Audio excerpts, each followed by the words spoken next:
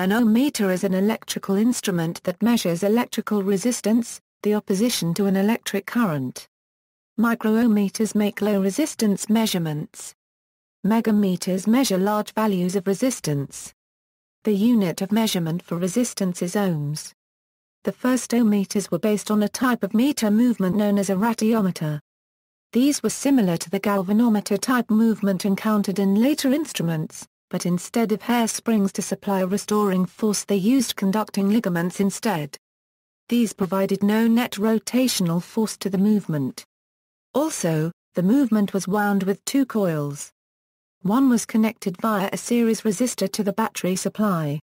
The second was connected to the same battery supply via a second resistor and the resistor under test. The indication on the meter was proportional to the ratio of the current through the two coils. This ratio was determined by the magnitude of the resistor under test. The advantages of this arrangement were twofold. First, the indication of the resistance was completely independent of the battery voltage and no zero adjustment was required. Second, although the resistance scale was non-linear, the scale remained correct over the full deflection range. By interchanging the two coils a second range was provided. This scale was reversed compared to the first. A feature of this type of instrument was that it will continue to indicate a random resistance value once the test leads were disconnected. Ohmmeters of this type only ever measured resistance as they could not easily be incorporated into a multimeter design. Insulation testers that relied on a hand-cranked generator operated on the same principle. This ensured that the indication was wholly independent of the voltage actually produced. Subsequent designs of ohmmeter provided a small battery to apply a voltage to a resistance via a galvanometer to measure the current through the resistance.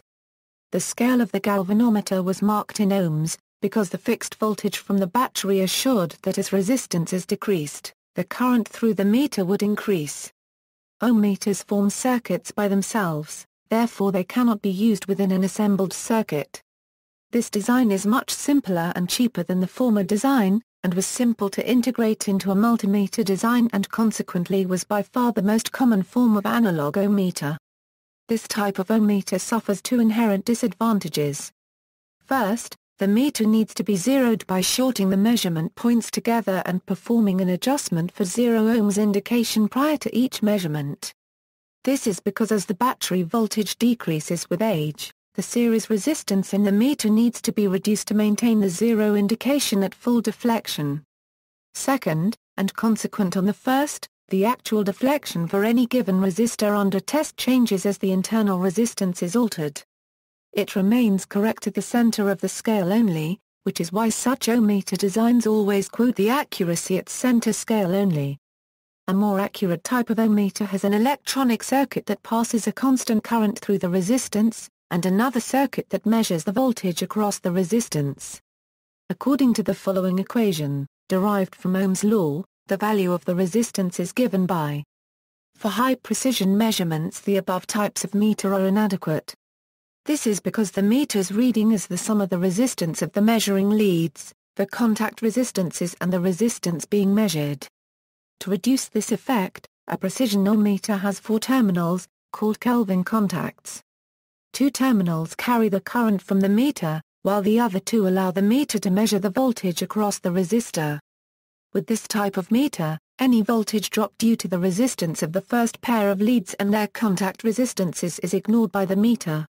This four-terminal measurement technique is called Kelvin sensing, after William Thomson, Lord Kelvin, who invented the Kelvin bridge in 1861 to measure very low resistances. The four-terminal sensing method can also be utilized to conduct accurate measurements of low resistances.